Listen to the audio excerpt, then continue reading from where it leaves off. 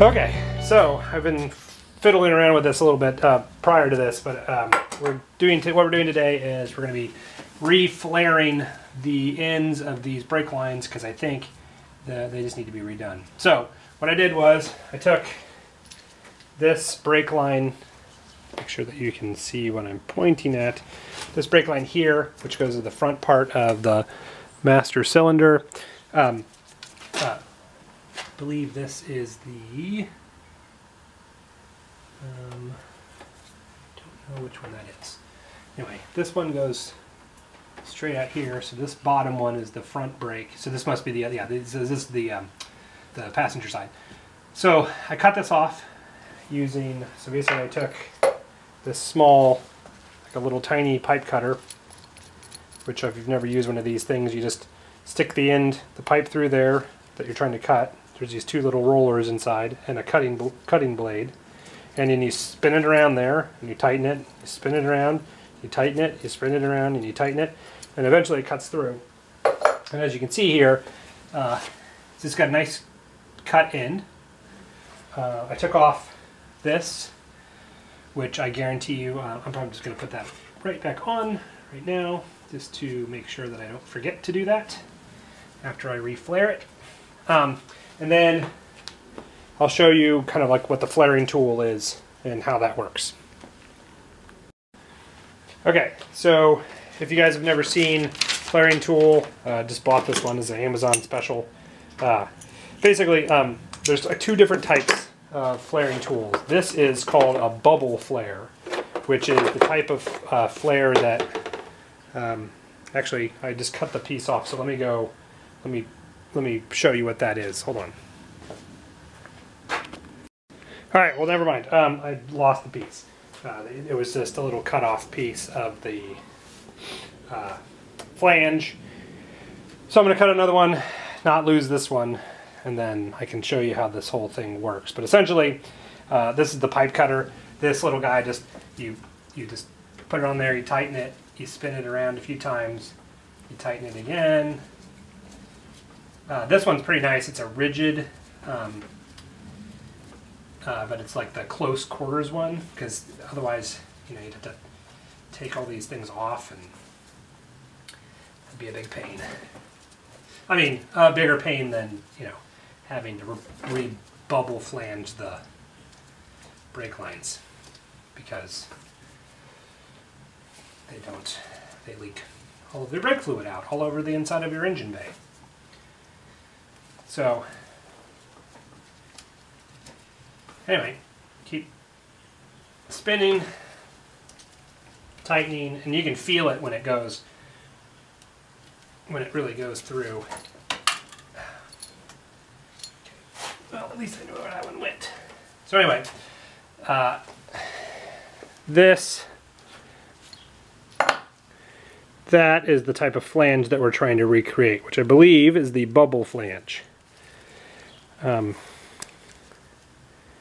and you can see that when you cut it, it basically just cuts a flat, it's just a flat edge, the hole in it, uh, with the hole. And then uh, you want to, uh, I'll show you how the flange, the flanging tool thing works. Okay, so the, the flange, there's a couple, like I said, there's a couple different types of flanging tools. This one's called a bubble flange. Um, it's just a different style. It comes out, um, this off here.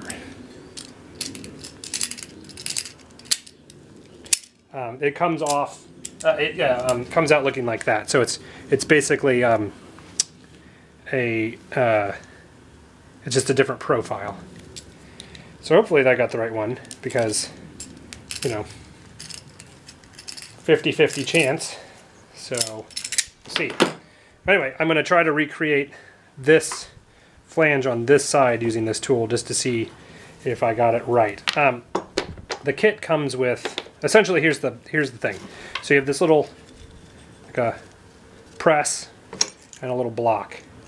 And the press has different size things. So this one is a 10 millimeter, uh, I think this is ID 10 millimeter the one for these is a 4.75 millimeter. So this, you know, essentially goes, the pin goes inside here, and then the the there's a divot like a divot inside, and that presses the presses the metal of the brake line out to make this shape. Hopefully, that's what we're counting on. So anyway, this block, you see that there's 4.75, 6 millimeter, uh, 8 millimeter, 10 millimeter. You put the line in like that and clamp it down where you want it to be. I don't think, yeah, there's a very small um, there's a very small um, uh, chamfer on the inside. So you basically clamp this down. This is gonna be kind of a pain to do when you're in the in the car, in the bay there, but we're gonna give it a shot. And then this block uh,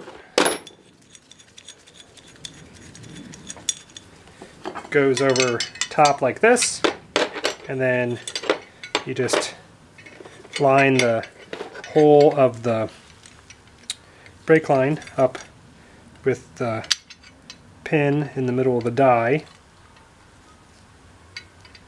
Forget your glasses so you can't see anything. Um, this is a pretty it's a pretty tight fit. Um, just you know it's meant to be.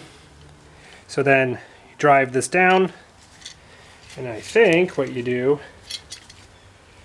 is you just clamp it down, pull this pull this back out, release the clamp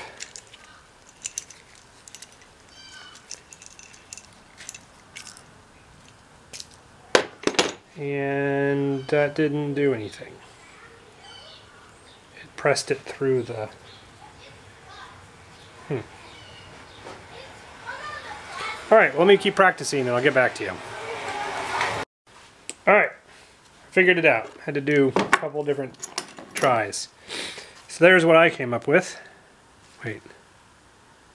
Yes, that's mine. The one I did and there is the one that is the factory one which is smaller and kind of worn down. So the the key is um, what I was doing before is uh, the number one I wasn't tightening this anywhere close to. So I I they give you these wing nuts and it's and it makes it seem like you're supposed to be able to tighten this by your hand but you, you certainly can't. It will there's little teeth inside these holes that grab hold of the line but you really got to crank this bad boy down. So I just had a pair of vice grips and I just tightened it down. Um, the other key is to make sure that you're providing enough of the material, the tube sticking out of the block, uh, so that the die, as it squeezes down, it hits flush with the block, but it needs to be able to squish the material out through there, and it has to have enough. So on this, this little wrench that it comes with, that's to tighten the these ends on, it actually has a little gauge. So you put the put the tube through the block and then it just needs to be flush with the top of there. Doop, doop, and done. So it works. Um, really hope this is what like fixes the brake leaks. Fingers crossed. So um, we've got two cuts. We got one more cut to make. Uh, and then we will, I will go ahead and get you set up on the, um, and we'll do the, the flanging. So, yeah, so I tried to see if I could get any extra length out of this front left, front driver side um, brake line. Uh, there's no, nothing left to give, so I'm going to have to replace that line. Um, but the good news is I got the the passenger side one um, all screwed in there and ready to go. Um, and so what we're going to do is we're going to flange this next one and see if we can get the rear brakes um, in. I can at least, because this, um, this uh, reservoir actually has a wall in it and it's separated, so if I pour, I can at least check the rears, uh, pour brake fluid in there and see if, uh, after we reflange it, um, see if that did the trick. Um, if not, then um, I'm not sure what I'm going to do, but uh, we'll do something. Um, so right now, let's re let's reflange this one, and then um, yeah, go on from there. So.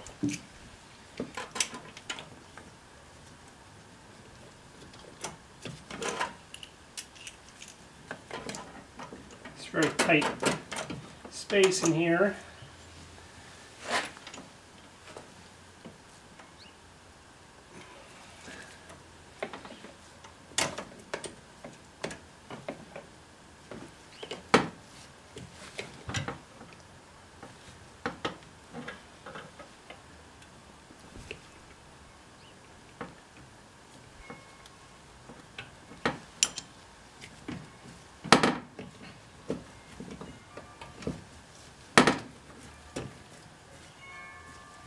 Um, another trick I learned, uh, didn't learn, I through trial and error. If you tighten this one all the way down, the front one, that's the one that's nearest, um, and it works either way if you're doing a big, a bigger pipe back, a bigger line back here. But as you get, um, clamp this one down first, and then this one, because of the mechanical advantage of the lever, actually really grabs a hold of it and tightens it a lot better. So start with the one up here uh, near the front. Uh, I mean, well, near the um, near whatever, because you you know, if you're here, use this one. If you're at this one, do this one. Um, it really helps uh, grab a hold. Because uh, I found out that I tightened this one first uh, on the first trial run that I did, and it didn't hold the, it didn't hold it hard uh, tight enough. So what I was doing is when I pushed the die down, it was just um, pushing the line out the bottom. So there you go. Now be an expert at this and probably never have to do it again. I mean, hopefully.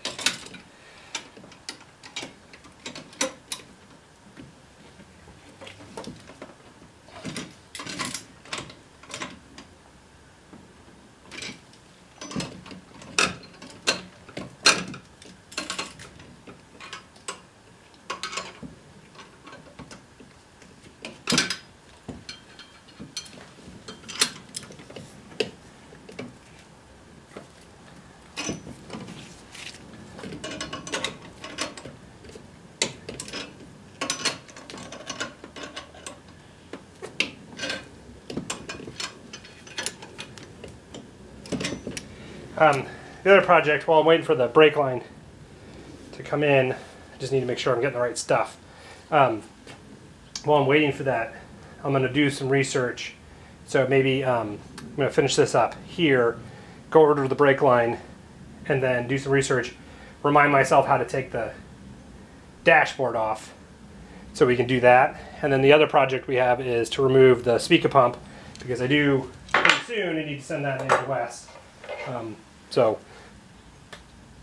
while we won't be finishing the brakes, we're finishing those later, doing some other things. Um, and then I gotta remind me to remind myself to recalibrate the windshield wipers after seeing how they behaved. Last time, I don't need to have the one wiping the cowl off, which is what it was doing at the end of last episode.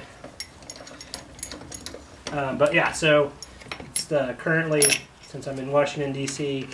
we have um, and it's middle of March 2020, so it's the uh, coronavirus stuff. So uh, the kids are out of school for probably they say two weeks, but it's probably a month. So I'm gonna have lots of little helpers. Uh, my office closed as well, so um, I don't, you know, I still have to work and stuff, but the office is closed, so I don't have a commute anymore, at least, so that's good. Um, hopefully it'll give me a little bit more time out here. Uh, get cranking and help keep my mind off of things. So, hope everybody who's watching this is staying safe and staying well, healthy.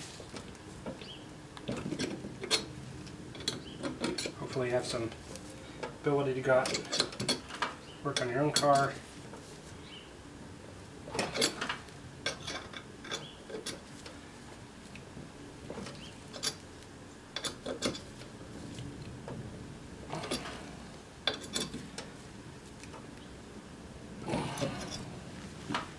Man, this isn't easy. I like crank this thing. Ow.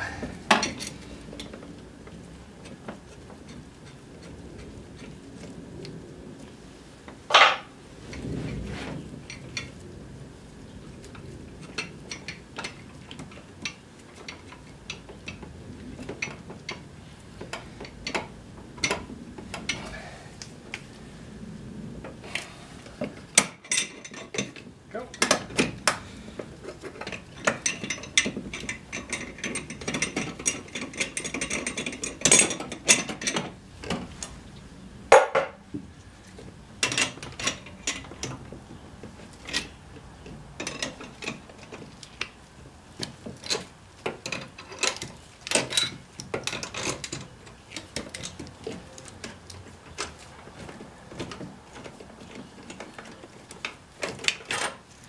All right. Another one done. Out. Oh man, I'm getting good at this. Um,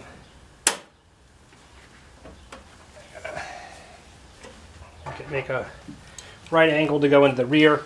Um, just so you know, I- and I don't know if you guys knew this, but and it doesn't make much of a difference. But on this, on the Alfa, there's um,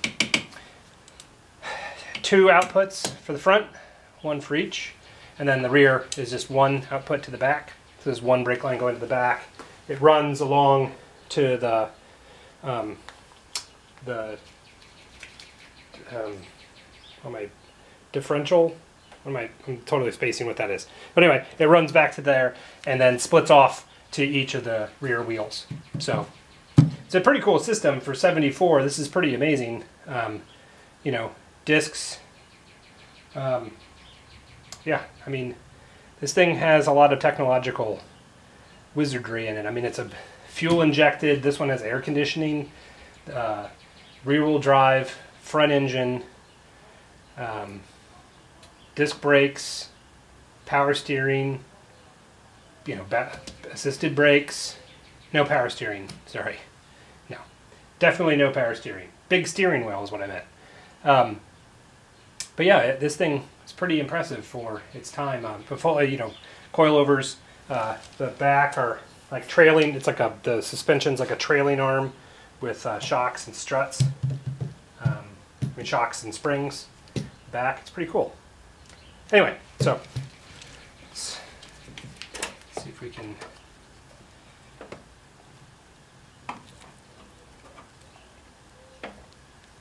I know, I know, I don't have a pipe bender, line bender. Being gentle.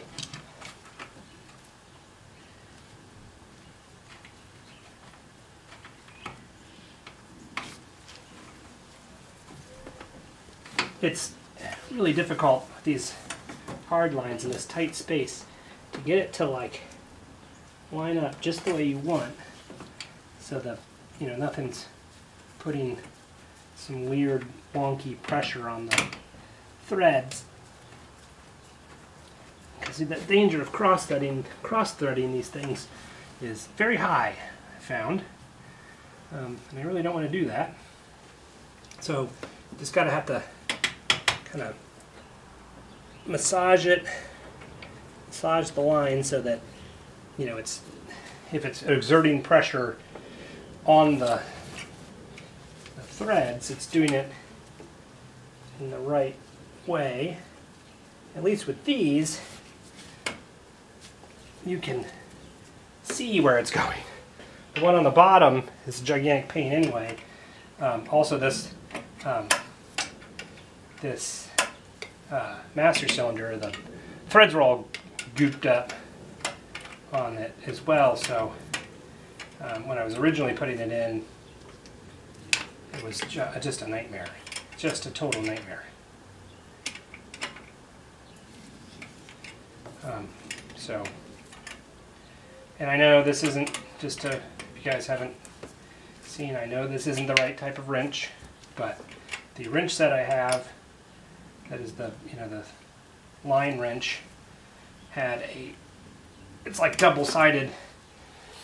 It, this needs an 11, and it was one of those ones where it had on one side a 12, on the other side it had 10. And there was no 11. So, this is my cheapo mini Craftsman. It's like kind of 11 millimeters. So, anyway, um, yeah, so there's that. I'm to um, wipe everything off and I'm to pour uh, some brake fluid into the rear. I know it'll just leak out the front because there's nothing in there, but in, in half of it. Um, but it's a divided uh, reservoir, so it should stay in there. If this is if this is no longer leaking, uh, this one was a really slow leak. Uh, when I so I either turned it into a very fast leak or I fixed it, um, or it is going to be the same and be a slow leak. So uh, yeah, let me fill that up. Brake fluid. All right, funnel just to go on that side.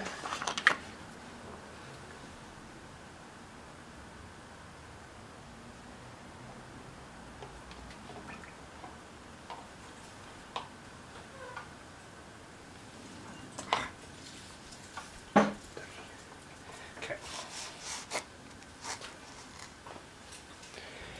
Um, and I'm going to put a rag down there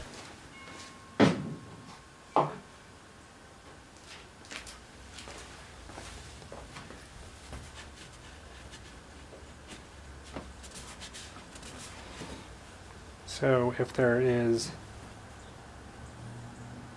it's not leaking yet, so that's good. So I'll put this down here and then um, we can come back and check on it to see if it is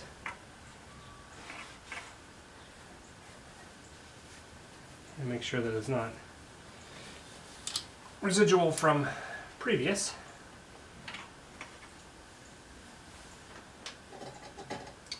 Okay that on there. Uh, the good thing is I'm going to have to go and free bleed all of the brakes, um, especially if I have to replace this brake line. So that'll be fun. Uh, at least that'll be another, you know, more video, more content, right? Um, okay, so I'm cut it off here. I'm going to go see if I can find some brake line, and then I am going to research taking the dash off, order the brake line, uh, and then hopefully tomorrow I can get back out here, um, and then maybe we'll take the dash off um, uh, get a stereo put in. Uh, it's one of the things I can do with the dash off. Uh, connect these hoses, uh, which is the main reason um, to take the dash off. And then just some stuff. I just need to clean some things up. So anyway, great. Well, that was kind of successful, I guess. Um, so till next time. See you. Okay, well, I'm not done. Um, I'm going to go ahead and take the dash out. Uh, it's only four bolts. It's pretty easy, supposedly. So, you know how that goes. Um, I've ordered the brake line and the uh, the brake line and the um, flare the other flaring tool. So th this is nice. The uh, flare up here at the top here is a bubble flare, but at the bottom the line is a double flare. So you have to get the other tool. It's 3 16th line, supposedly. And then you have to have both types of flaring tools. So it's, I just had to order the other one. It'll be here on Monday. but um, Saturday right now. Be here on Monday, but obviously not in time to do it tomorrow. So onward and upward. Um, we have to uh, take the dash out, um, and then I'm going to see how much of a space we have for the new stereo, uh, and then put that in. That's going to probably require a bit of modification to the dashboard.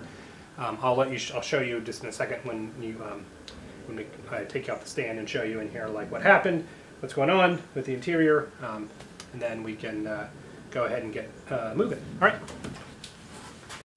Okay, so this is the inside of the car, obviously. Um, the dash, so this was um, my father or father-in-law who owned the car originally put this old Alpine in. I, I just took the, the faceplate off and screws and stuff just to see what we had to deal with here. Um, this, taking the dashboard out actually is not that difficult, uh, but as you can see here, this is the air conditioning box. Uh, not a lot of cars, this is a pretty not super common to have the air conditioning box in here. It doesn't work. Um, we already took the air conditioning pump out of there, um, out of the, the compressor pump out of the um, from underneath the hood. So it isn't going to work anyway, but taking it out is a gigantic pain, so I'm just to leave it in there. But it is in the way uh, pretty badly when you try to take the dashboard out. Um, there are two bolts down here, one there, and then one underneath there. And then there, I think there are two bolts. I believe they're down in here or behind. Huh, said in the vents. So there are vent there, vent there, vent there, and vent there. So I just need to make sure. I've done this before, taken it out before. I just don't remember where it was. So let me find those, find the right size wrench, and then we can get moving. Okay, now I'm remembering. Okay, so here the vent, you can see the bolt right there. So that one has to come out. Then there's, you have to take, there's a, um, a vent, this thing goes down in there. It's actually just kind of, you can, I think you're supposed to take this retaining ring out first, and then this thing pops, this pops in and out, and this connects to the, this bottom part connects to the, there's a vent hose that's down in here, there. Um, so uh, you take those out, take that one out, and then I don't know, let's see if I can see, if I can get you to see in there. Let's see if I can, oh, just blinded myself. Okay. It's kind of hard to, anyway, there's, um, there is a, oh boy, you can't see it.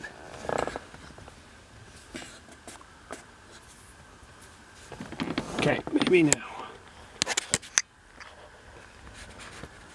Anyway, there's a, there it is. See that, the bolt? There's a nut right there. You don't have to take that off. Um, there's a little, the little metal piece going to the right. It's actually like a fork. And you can just loosen that.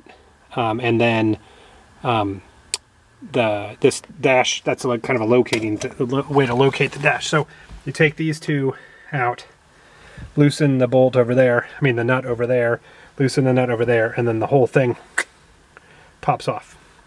So uh, we'll get going. I think you can take these vents out without breaking them, and that makes it easier to get to that. So let me let me take the this thing out, um, and then see if I can get these vents out without destroying them.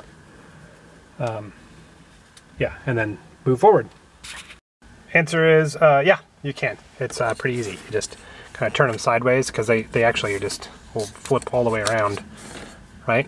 And then you just, it's like a, of course, the other one came out really easily. Give it a yank. There you go. Let's see if we can see that. Not better. There it is. That'll be a lot easier to get to. All right. Okay, so this is not as easy as it. So you kind of have to like.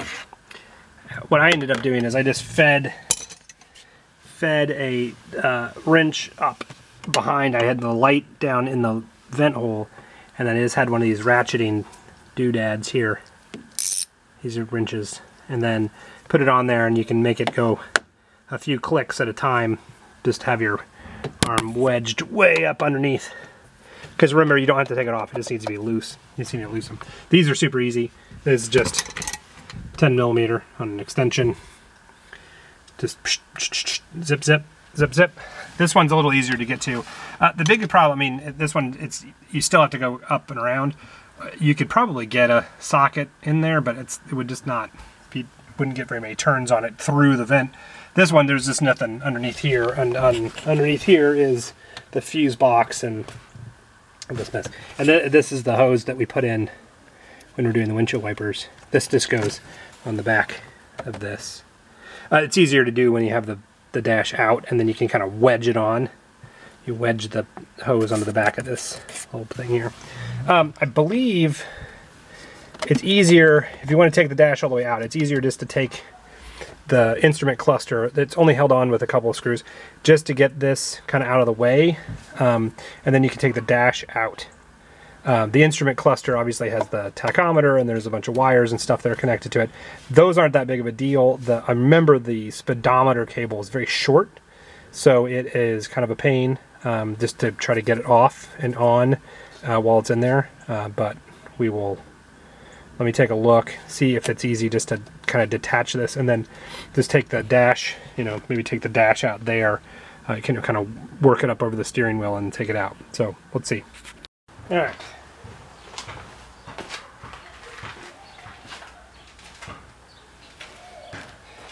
Let's see if we can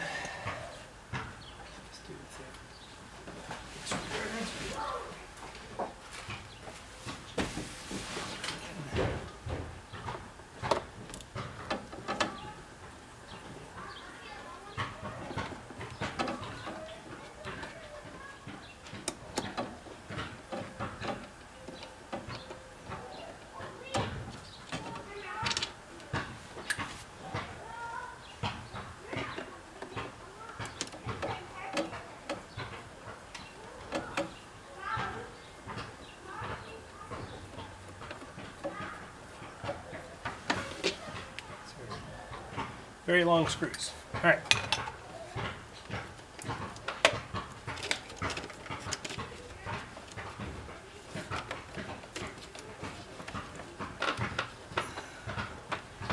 I think it's the, it's a couple of cables that are.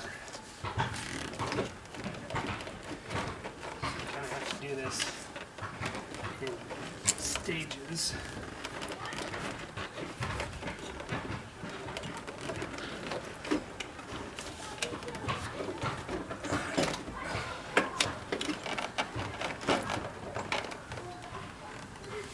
Okay. So let's get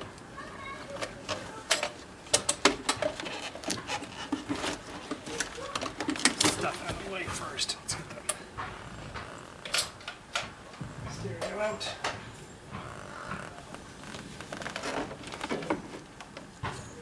Frees up some space maneuver see some things. Right. Now it feels like, remember correctly, He's the one who stopped last time.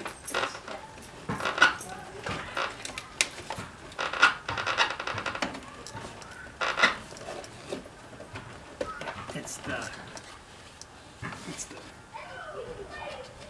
tachometer cable. Yeah. Everything else is relatively easy to take out. Um, speedometer cable.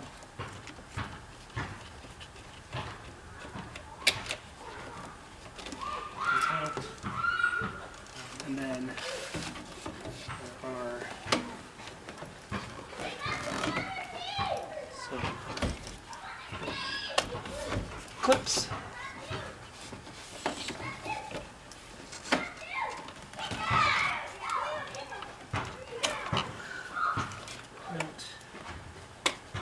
purple there.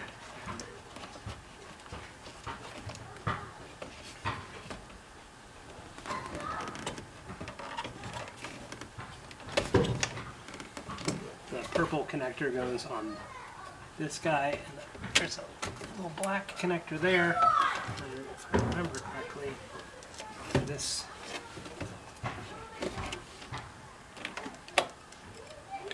trip spinner thing. Um, I don't think it connects. I think you need to take uh, it. The, there's a nut that holds it underneath here to take that off, and then I think there's a couple more plugs and stuff. But for our purposes, if I can just get basically get this much access, um, then I think we're good. Okay, so I realized that yesterday, number one, couldn't hear anything that I was saying because of the kids in the uh, alley. Plus, it was through the window, so not great. Um, anyway, just wanted to finish this off. So what I'm going to do is uh, the stereo, this old stereo uh, that was in here, this old Alpine stereo, um, was essentially supported by the dash itself. It was just mounted to these these screw these um, posts were threaded through. Um, and I'll show you how it's cut out here. Um, so it was cut, actually cut out, um, not just the trim. You know, this is just veneer, um, and, but it's like cut out of the actual dashboard stuff behind it. But this was um, it was just screwed down, like threaded down there on the, those big nuts, and it was just suspended basically from the front of the stereo to like you know kind of. So it's not great, uh, especially if you can feel how heavy this thing is. It's not light, um, so I don't want a tape deck. Um, so I'm just going to go and get. Um, I'm at the order one. I did. There's nothing that was available um, super fast, uh, but something that's uh, essentially a multimedia P uh, stereo that will um, that's much lighter uh, and, and shallower and won't if I mount it off of there. But the problem is I am going to have to cut this. So right now what I'm going to do because I'm at to cut a bigger hole. Um, until then, until I get the actual stereo, the thing I can do is just take the dashboard all the way out. So um, just to show you kind of the the connections on the back of this. Uh, so there is two big bolt connectors, red one and a white one. Uh, uh, white one. Uh, there's a couple of individual connectors, a purple one and a black one that go on there. And then there's this, um, the speedometer cable. Uh, get this out of the way. Uh, the speedometer cable here, which just screws on. And the same with the tachometer cable. Same same deal. Has a little threaded thing. Um, this is these pieces are kind of held in by the binnacle here, uh, and that's it. So uh, to get the dashboard all the way off, you have to take out the um, rear defroster and the uh, couple plugs here. Uh, this is the um, this is the emergency thing. So, um, yeah. So just a few more things. The trip, uh, the trip thing that's connected to that, you know, spins this, those numbers, which is this thing on the bottom. That needs to come out. Um, you know what? I don't even know what this does, this thing. uh, but you have to disconnect that, and then it should be, it should just be able to pop right back out. So that's what I'm going to work on. Okay, so these here come out, um, there's just a threaded nut that's on the back, and so these slide out the front. And I'm just labeling um, and then putting it here. Um, so that's what that looks like. And so the blue is on top, yellow is on the side, red's on the bottom. Uh, there's two black. I think it's just two blacks and a and a, and a white, um, just to for the circuit. But just in case, wire it back the same way it happened, the same way it was on there. Um, I'm not even sure that the really foggers work, but anyway, better safe than sorry. So you can do that once you label them, take them out. The issue with the, I'll say this, and I remember this being a problem. This here, this one right here, the hazard thing, is the central terminating location of a whole bunch of basically all the turn signal wires run through here. So this one, if you um, if you don't wire this correctly, or if more often the plastic, um, it's basically it's like a if it's pressed in, if it's pressed in, it is off. If it pops out, it's on, and that can actually fail, and then all of your blinkers are on all the time, which is the original reason this car got parked by my wife um, for 10 years was she said that it was an electrical problem. When it turns out it was just this plastic piece in here and this couldn't actually come go stay in so the hazards were blinking all the time. Funny story uh, but this is an expensive piece um, and i had to take it apart and kind of rebuild it so that it would stay in. Um, or you can also just take a big piece of duct tape spread it over there. Either way. Okay so once you label all the wires and get everything unplugged and take a bunch of pictures, now you can, since these are already loose, these are gone. Uh, there's these two, the hazard, the rear defroster, the trip computer, or the trip uh, trip odometer thing, the fasten seatbelts sign, and uh, that light, and then the glove box light lead over here. Uh, there is on this one.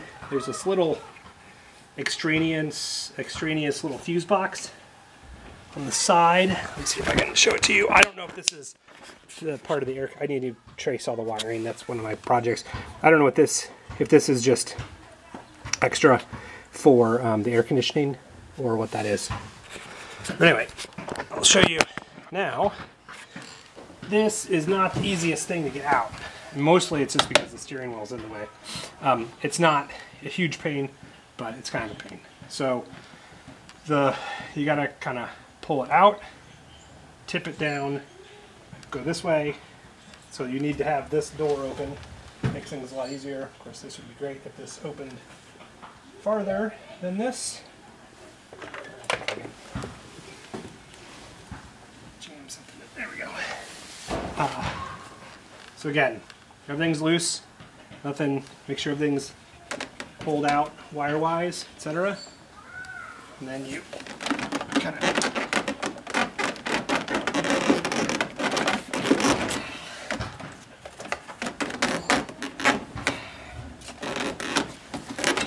Okay. Then you can push it this way, and then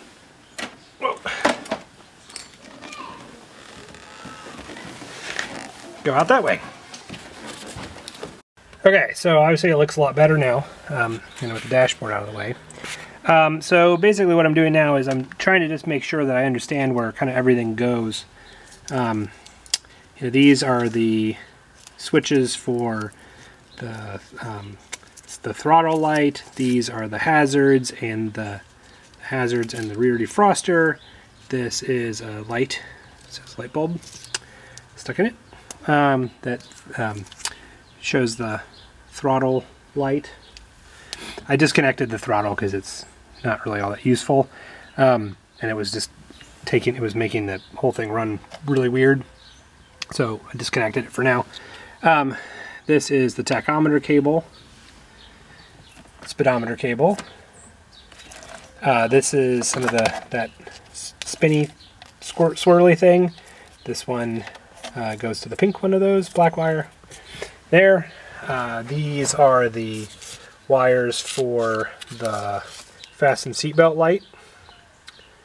Um, pink and white for each the passenger and driver. This is the wire for the light in the um, box. These are the speaker wires that I put in. This is the, uh, sorry, speaker wires. This is the antenna. Uh, this mess, so I zip tied some of this up just because it was a big mess the last time I took the dashboard out. Um, so this box, this comes up here, comes into this big thing here, goes back up and into this loom, and then you get to, you can kind of see where the problem lies. It just turns into a gigantic rat's nest of wires all over the place. So I think for my own sanity, I'm going to take the time and go through and learn, get the wiring diagram out and just learn what each and every one of these guys does before I put the uh, thing back together. I think this is long overdue. It's a big mess. Um, there's wires all over the place. Like for example, these are the uh, these are the wires right here to the um, the other uh, that little tiny fuse box where there's two fuses. So we need to find out what that is. Uh, and then just chase down wires because um, I'm going to have to. I'm, I, I took out the taps that were on the old stereo um, and I cleaned those up and repaired them so well that I forgot where they were. Um, and I'm going to have to re, you know, just a constant ground and then a uh, ignition wire. It's not a big deal, but uh, they're pretty easy to find, but need to find it.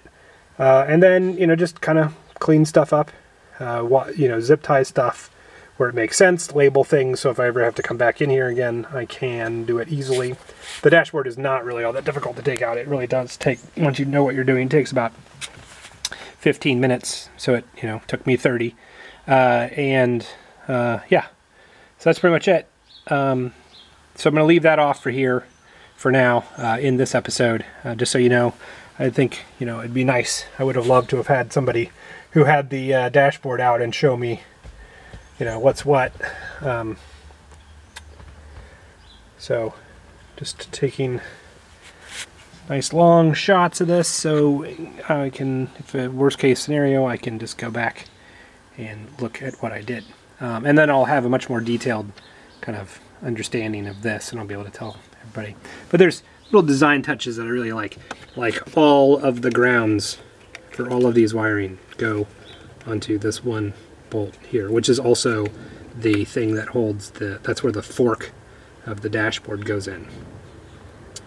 It's just, you know, and I guess it's elegant in its design. I don't really know what to say.